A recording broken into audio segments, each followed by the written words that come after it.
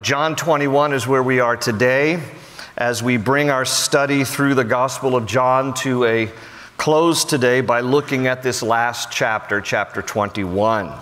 And next week, Lord willing, we'll be continuing in our journey right through the Bible. We go cover to cover here at Cornerstone. So next week, we'll be into the book of Acts, so you can read ahead.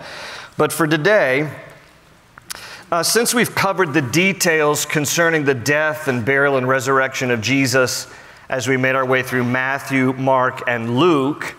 And because I will cover pretty extensively the death, burial, and resurrection of Jesus around the week of Easter, uh, today I've opted instead to look at a conversation in this closing chapter of John's Gospel that is exclusive to the Gospel of John, a conversation between Jesus and Simon Peter.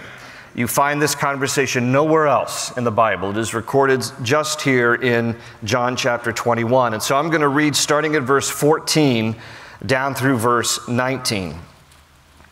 In verse 14, it says, This is now the third time Jesus showed himself to his disciples after he was raised from the dead. So Jesus has already risen from the dead. This conversation happens post resurrection. And so continue reading verse 15. And so when they had eaten breakfast, Jesus said to Simon Peter, Simon, son of Jonah, do you love me more than these? And he said to him, He said to Jesus, Yes, Lord, you know that I love you. And he said to Peter, Feed my lambs. And he said to him again a second time, Simon, son of Jonah, do you love me? He said to him, Yes, Lord, you know that I love you. And he said to him, Tend my sheep. He said to him the third time, Simon, son of Jonah, do you love me?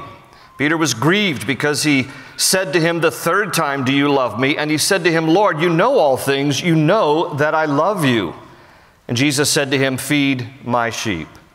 Most assuredly, I say to you, when you were younger, you girded yourself and walked where you wished. But when you are old, you will stretch out your hands, and another will gird you and carry you where you do not wish. And this he spoke, signifying by what death he would glorify God. And when he had spoken this, he said to him, Follow me.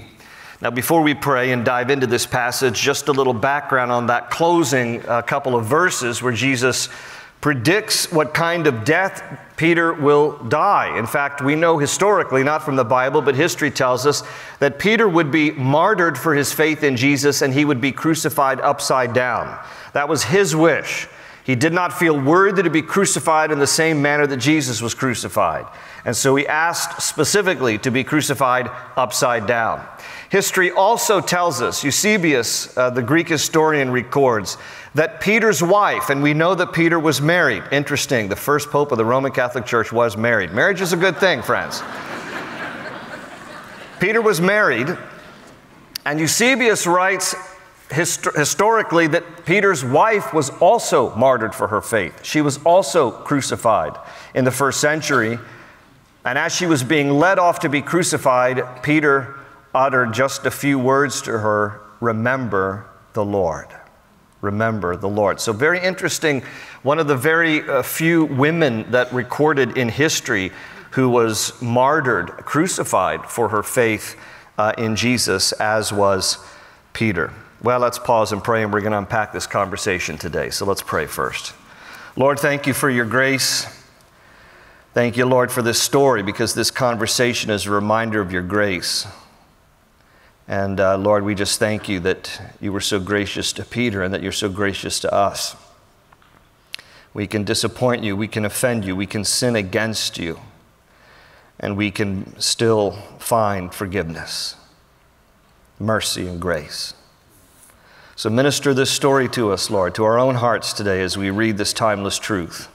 And we give you the praise and the glory in Jesus' name. And everybody said, Amen. Well, I heard the story about uh, an old farmer who all his life had just lived on the farm. He had never ventured into the big city, so all he knew was farming and milk cows. And one day his grown son said to him, Dad, come on, I'm going to take I'm going to take you into the big city and show you things you've never seen before. And he took him to a very lavish, upscale hotel. This old farmer had never been in one.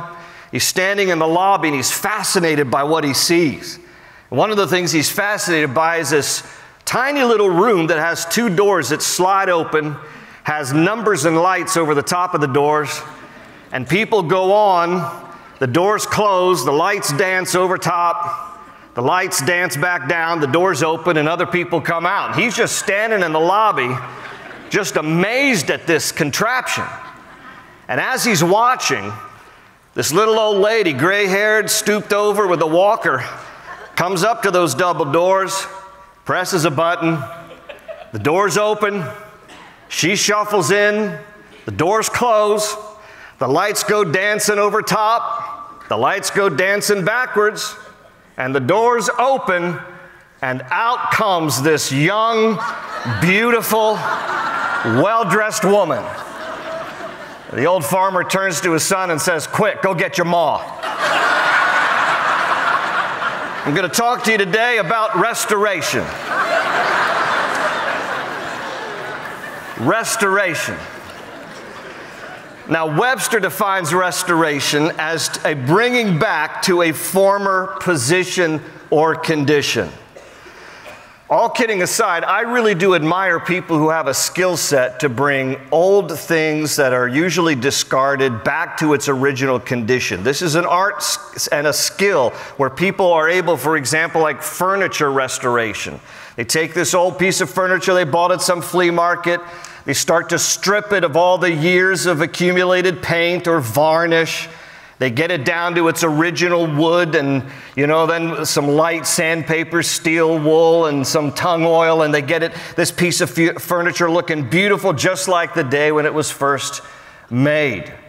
People who are also skilled in car restoration. Some of you love to take old cars and restore them back to their original beauty. People do this with homes. People take like an 18th century home some federal house, some home, and restore it back to its, you know, period pieces and period pieces of furniture in the house and make it look like it was original. The same kind of thing is done with artwork. It is a very expensive and professional service that you can get done on an expensive piece of art. Uh, here's a picture. I've shared this picture with you several years ago, but this is a wall mural. This is just the, the head of Christ. It's actually a full length wall mural in Florence, Italy, called The Crucifixion. It was painted by Fra Angelico in the 15th century. And they have a process now using certain solvents to delicately remove resins and varnishes and grime from oil paintings without destroying the original work. And uh, here's a picture post restoration of this same painting. And so it, it really is a skill. It, it, it, is, a, it is a professional uh, trade and a skill that people have to restore things. And what's important to understand, uh, I share all these simply as illustrations uh, because God is into restoration too. But unlike the regular dictionary definition of restoration, which, as I said a moment ago, is to return something back to its original condition, the biblical definition of the word has a greater meaning of improving something to a condition better than it was before. In a biblical sense, if you're taking notes, restoration is A, when God takes something broken and makes it brand new and or b the process of receiving back more than has been lost such that the final state is greater than the original condition. This is biblical restoration and god does this all the time. He performs restoration with people with marriages in families among friends he restores souls. He restores broken hearts. He even restores broken nations. There was a time in Israel's history when they were so far from God, had disobeyed God so terribly that in the days of the prophet Joel, God sent a plague, a swarm of locusts as a form of his judgment to get their attention because of their disobedience toward him. The entire nation was swarmed with locusts, which destroyed all the crops and the vegetation, which obviously affected their livelihoods and also affected their food supply. And God brought these locusts as a way to devour the land as a form of his judgment to get their attention that they were so disobedient to him. But here's the marvelous thing that after the people repented, once they saw what God was saying to them and they repented and they turned to the Lord, God said through the prophet Joel in Joel chapter 2 25, So I will restore to you the years that the locusts have eaten.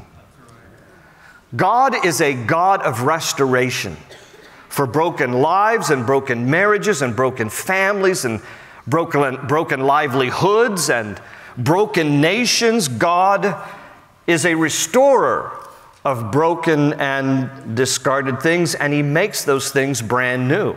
You see, in our culture, in our society, this is just in general among Americans in particular, but this is probably true universally among most cultures. We throw away things that are broken. We discard things that have deteriorated because we determine that they no longer have value. All right? Not with God. God loves broken things and broken people because God will take broken things and broken people and mend those things and make them whole and reclaim them for His glory, that those things and those people might live according to His grand purposes for their lives. God loves brokenness. We discard broken things. God salvages and reclaims broken things. David would write about this. When David was confronted about his sin of adultery with Bathsheba by the prophet Nathan, David, one of the things you can say about David, I mean, he was a man who had his moments. He had his victories and he had his defeats. He had his success stories and he had his failures. But one thing that was true about David, for which God said about him that he had a heart after God, was not that he was a perfect man, but when he did sin, and adultery was clearly a sin, he was quick to repent. He was quick to turn back to God. And he writes an entire psalm, Psalm 51, in response to his repentance towards God after his sin of adultery with Bathsheba. And one of the things he says in Psalm 51 is about his own broken condition and how much God received him. In Psalm 51 17, he says, The sacrifices of God are a broken spirit. And he writes, A broken and contrite heart, O God, you will not despise. God loves a broken heart and a contrite spirit because then He can take the person and mend them and reclaim them and mold them for His purposes. In fact, in that same Psalm, Psalm 51, David also talks about restoration. In Psalm 51, verse 11 and 12, he says, Do not cast me. This is his prayer to God. Do not cast me from your presence or take your Holy Spirit from me. Restore to me the joy of your salvation and give me a willing spirit to sustain me. Restore unto me. God is the God of restoration. Restore unto me the joy of your salvation and create a willing spirit in me to sustain me. God is the God of restoration. And that is exactly the theme of John 21. Jesus is restoring Simon Peter. Now, why did Simon Peter need to be restored? Well, if you're unfamiliar with his story, let me give you a quick recap. Right at the time when Jesus needed his friends the most, the loyal guys that he had done ministry with for three and a half years, they all abandoned him. When Jesus was arrested, flogged, and crucified, all of his disciples deserted him. And Jesus predicted this. At the Last Supper, at the last Passover that Jesus shared with his disciples, Jesus predicted, Every single one of you will abandon me. Well, when, when he said that at that Passover meal, Simon Peter spoke up and he said, Well, the rest of these homies might abandon you, but not me.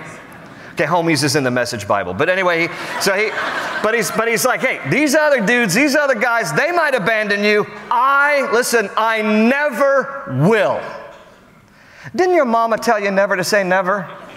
Because whenever we say words that are extreme, like never and always, we get ourselves into trouble because those are exaggerating terms. And so, but Peter, Peter says, you know, he's got that, you know, foot and mouth disease. And so he, he's just like, you know, I, I will never forsake you. I will never abandon you. And Jesus at that dinner says to him, Simon Peter, Verily I say to you, truly I say to you, before the rooster crows, like before morning, you will deny me three times. You will deny even knowing me three times. And the words of Jesus came to pass. Because as we know, Peter denied in conversation with people right at the time when Jesus was being arrested and flogged and then crucified. Peter pretended like he didn't even know Jesus. Three times he was asked, Don't you know him? Aren't you his friend? And three times he denied even knowing Jesus.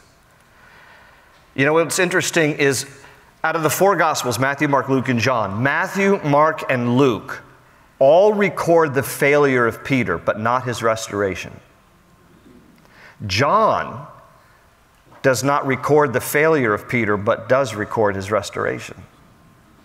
That's why it's beautiful when you have all four Gospels because you get the whole story, which is why this epilogue, chapter 21 of John, is such an important epilogue to the four Gospels because you get the whole story. The guy who denied Jesus three times is going to be restored here, and God's going to use him in a marvelous way. We'll get to that in the book of Acts starting next week because he's not done with him, and he's not done with you. Some of you just need to know today that God is the God who restores what is broken. But here's the thing God restores what is broken because brokenness leads to repentance. Do you understand there's a difference between repentance and remorse? Some of you might always wonder when you, when you know this story about how Judas betrayed Jesus, Peter denied knowing him. Why was Peter restored and not Judas? Here's the difference. Because Judas, the Bible says, was remorseful, Matthew 27 3. That's the word that is used. Judas was remorseful but not repentive.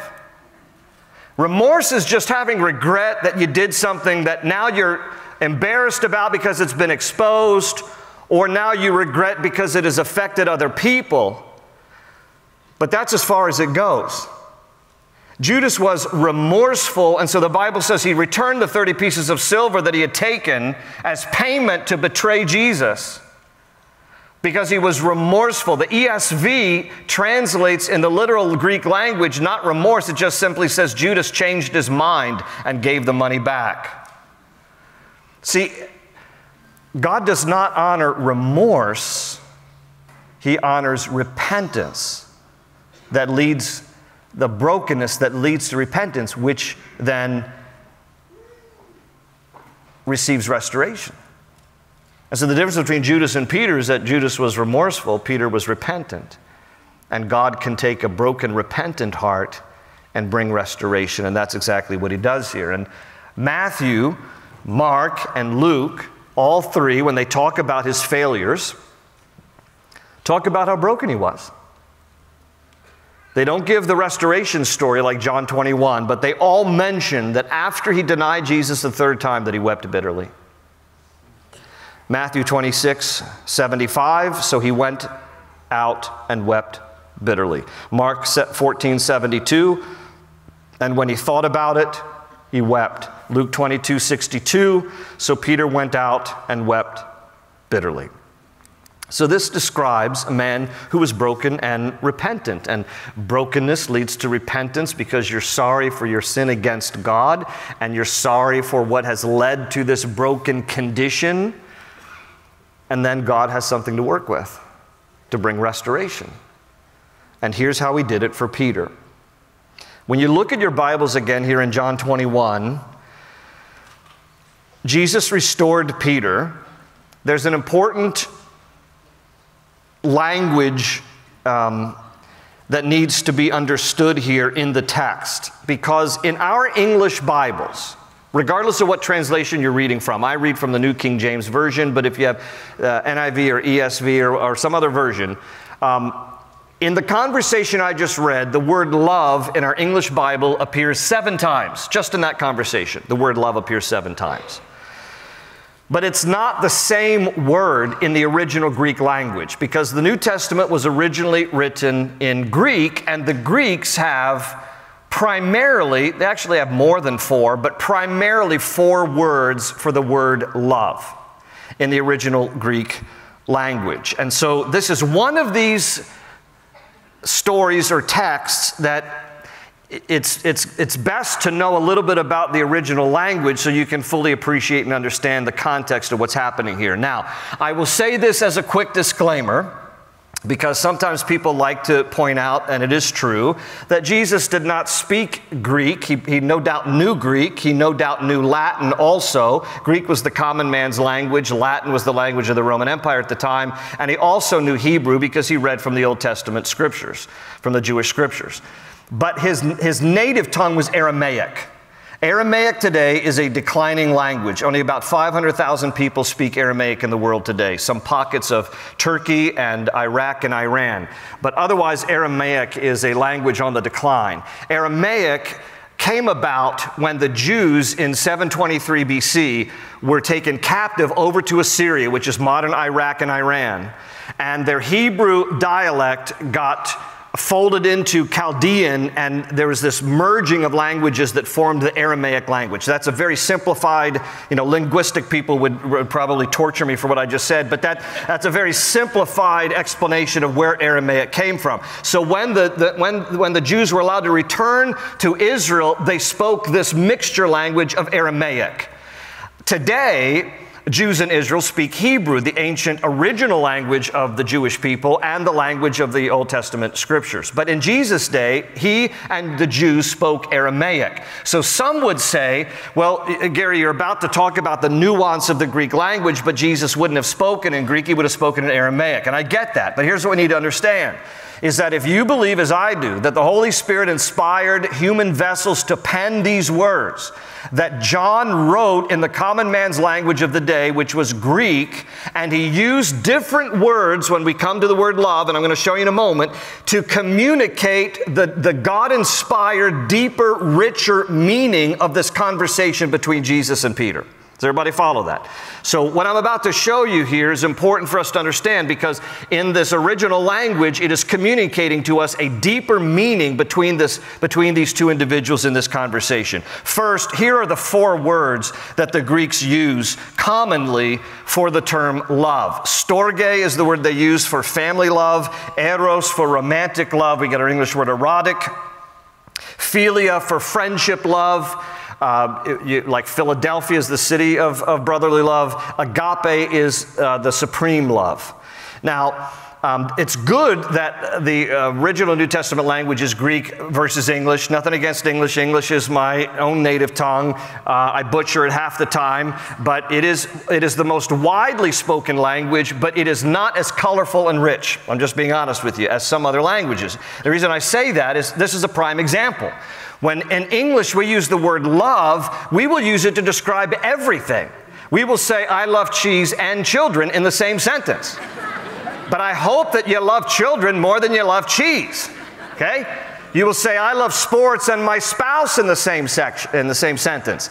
But I hope that well, anyways, you get the, you get the, you get the point.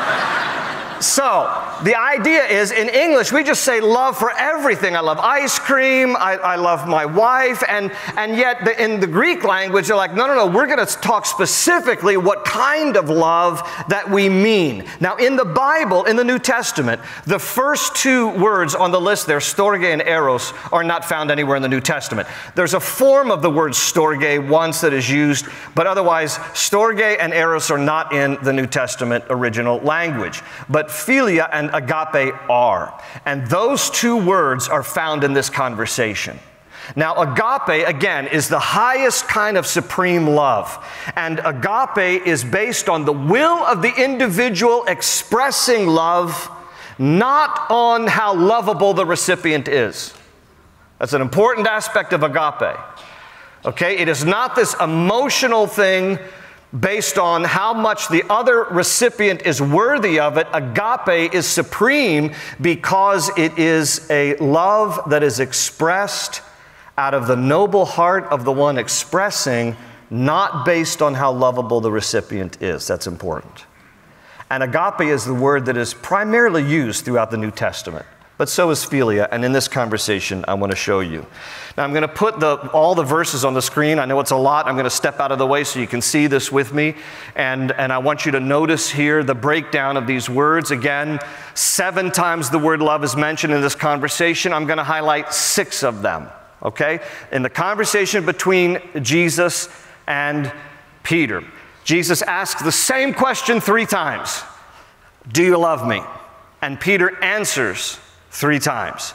The first time that Jesus asks the question, and, and I'm going to put the word agape in red, and I'm going to put philia and the verb forms agapeo or phileo in yellow so you can see this. Okay, here's the key above, and here's the first question. Jesus says to Simon Peter, Do you love me more than these? And he uses the word agapeo, the, the, the verb form.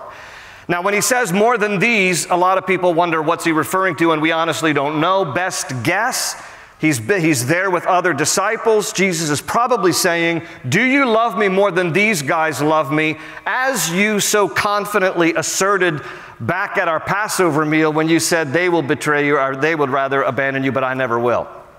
So he's probably revisiting that. Like, do you really love me more than these? And Jesus asks him the question using agapeo Do you have the most supreme love for me? And notice Peter's answer. He says, I love you, but in the Greek it's phileo. He says, I love you like a friend, like a brother. Now we need to actually applaud Peter here because Peter now has more self awareness. It's a more humble Peter. He is not overstating his devotion to Jesus like he did back at the Passover meal. So he's being honest. He's like, you know, I wish, he probably is thinking, I wish I could say agape, the highest supreme love, but I don't want to overstate my devotion like I did earlier, so I'm just going to tell you, I love you like a friend, I love you like a brother. And Jesus says to him, Feed my lambs. Like there's work still for you to do, Peter. Question number two is verse 16. He said to him again a second time, Simon, son of Jonah, do you love me? Agapeo. He used the same, Jesus used the same highest word. And Jesus, uh, in response to Jesus, Peter said, Yes, Lord, you know that I love you. And he used phileo again. I love you like a brother.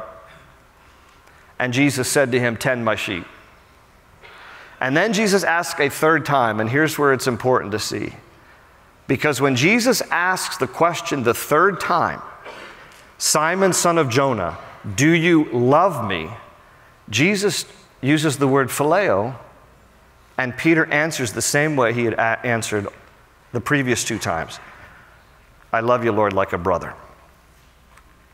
Now, why do you suspect that Jesus used the same word phileo in the third question as Peter had been using all along. And I'll tell you why I suspect. And you can have your opinion about this, but here's what I really believe is going on here. Jesus gets down to Peter's level. He is always willing to meet us right where we are. And so he stoops down to where Peter is, and he basically says to Peter, Simon Peter, do you at least love me like a friend, like a brother? And Peter's a little perturbed that he has to ask him a third time, but he says, Yes, Lord, you know all things. You know that I love you like a friend, like a brother. Jesus gets down on his level. Listen, this is Christianity, okay? Hear me on this. All other world religions teach what you have to do to get up to God's level. Try more, be better, work harder. That's every other world religion besides Christianity. Christianity is the only world religion that teaches God came down to your level and my level to bring us up. He condescended to a human level. He took on our flesh. He experienced our pain. He died on our cross. He lived our lives without sin to be the perfect sacrifice for our sinful lives to bring us to God. That's restoration. And God did that because of, because of his love for us. So, for you note takers, there's two quick points I want to leave before we have communion together. Here's the first one Jesus stoops down to the darkest places of our brokenness to bring us up. I don't know what you might be going through, I don't know where you are in your relationship with God. I can tell you this He's going to pursue you because He loves you and he stoops down to where we are. He came to earth to die for our sins, to meet us at that darkest place of our brokenness, to forgive us, to heal us, to restore us. And why do you suppose that Jesus asked Peter that same question three times? I tell you, it wasn't to annoy Peter, it was to restore Peter. Because as most of you are familiar, and recognize why he asked him three times. For those of you who aren't, it's simply this because Jesus was giving Peter the same number of opportunities to affirm his love for Jesus as Peter had denied his love for Jesus when Peter denied even knowing Jesus three times. And why is this important? The second and the last point because God's grace is greater than our sins. For every single offense that Peter had committed against Jesus, at least in this one context, Jesus gave him opportunity to be forgiven three different times. To restore him in this way. Romans 5:20 says, "But where sin abounded, grace abounded all the more." There's a refrain of an old hymn that we sometimes sing Grace, grace, God's grace, grace that will pardon and cleanse within, Grace, grace, God's grace, grace that is greater than all our sin. And on this day, in this conversation, in this moment, Jesus restored Peter. He said, Peter, not only are you forgiven, but there's work still to be done. And Peter will be the first person when we get to the book of Acts, the first person of the New Testament church to preach an evangelical message and 3,000 people get saved. Because God takes broken people, people who are discarded, and He makes us whole, and He reclaims us for His purpose, and He uses us for His glory. The Lord is my shepherd, I shall not want. He makes me to lie down in green pastures. He leads me beside still waters. He restores my soul. Peter will write two letters in the New Testament, 1st and 2nd Peter. And he understood what God did for him on this day in John 21. And he ends 1 Peter chapter 5 with these words And the God of all grace, who called you to his eternal glory in Christ, after you have suffered a little while, will himself restore you and make you strong, firm, and steadfast. To him be the power forever and ever. Amen. Do you need restoration today? Maybe for your life, for your marriage, for a family, for your livelihood, for whatever might be broken. Brokenness that leads to repentance is an opportunity for restoration. Let's pray together. Ushers, you can come, and then we're going to receive communion. Father, I thank you, Lord, that you are the God of restoration. And I pray, Lord, for those who are here today and those watching online who need restoration work in their own hearts and lives. They have wandered far from you, Lord, but just like with Peter, you can bring us home. You can restore us to yourself for a broken marriage, Lord. You can bring healing. You can bring restoration. You are the God who restores things such that the final condition is better than the original. You can do that, Lord, in families. You can do that, Lord, where there's been sin and brokenness that has led to repentance because you're the God of restoration. And you know every person here today, Lord, and you know what they need. I pray, God, you would minister your grace to them. That you would do a restoring work that is a testimony of your miraculous touch on a life, on a marriage, on a home, on a business, whatever has crumbled because of our sinful choices, Lord. Thank you that a broken and contrite heart, O oh God, you will not despise. Restore unto me the joy of your salvation and give me a willing spirit that will sustain me. We give you the glory, Lord, the praise, the thanks. In Jesus' name, amen.